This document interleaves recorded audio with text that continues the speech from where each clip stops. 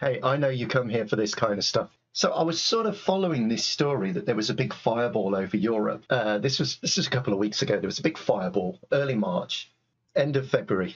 It was uh, was somewhere near the end of February. Oh, a fireball over UK three weeks ago.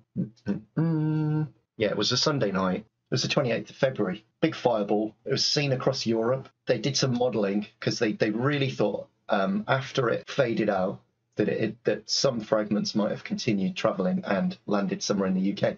And I remember that they'd modelled that it was somewhere in Gloucestershire. A few nights ago, I was watching Mr. MBB 333 333 333. 333 333 uh, no, with three. And uh, he talked about this. They only went and frickin' found someone. I say someone, and according to this article that I just read, a number of people found. I think what happened was these little stones came and landed on people's drives, and because the drives were like um, tarmac or yeah, tar- usually tarmac, isn't it? Just splatted like this. But the meteor hunters, the meteorite hunters, were actually looking for complete stones. You know, they wanted the the original things. And I remember that they were saying if you go looking for these things, or if you find one of these things, don't put a magnet next to it because they'll actually use. I think that the magnet, uh, the magnetism in, in the rock encodes some information that they can use. It was in it was in Winchcombe, which was amazing for me because uh, once upon a time in the early 2000s, I had a couple of years where I was out on the road all the time as an insurance surveyor.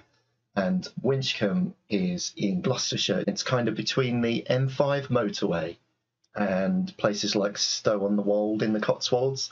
And I used to sometimes go all the way down the M5, get off at um, Cheltenham, or get off near Cheltenham or Gloucester, and then I used to go across to Winchcombe and then across to uh, I remember doing I had Bourton on the Water.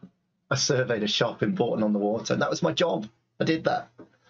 And I used to love I used to love driving around the Cotswolds. It was fabulous. And this town called it's a little town or village uh, called Winchcombe. That's where people were finding this stuff splatting on their drive.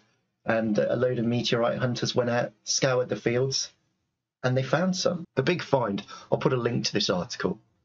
Mira's fragment, as we fondly started calling it, is a beautiful specimen weighing over 100 grams. On its surface, you can see marks from its passage through the Earth's atmosphere. The joy the whole team felt at the time was unmatched. We're all pretty certain this moment will be the highlight of our careers. If you live in the area, don't go into the area.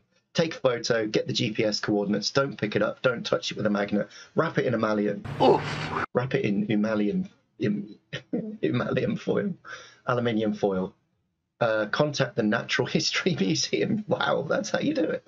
Um, oh yeah, if you do find a meteorite and it goes to the Natural History Museum, it will be part of a national collection archiving this historic event including Mira's fragment more than 500 grams of the Winchcombe meteorite, as its official name will likely become, were found altogether.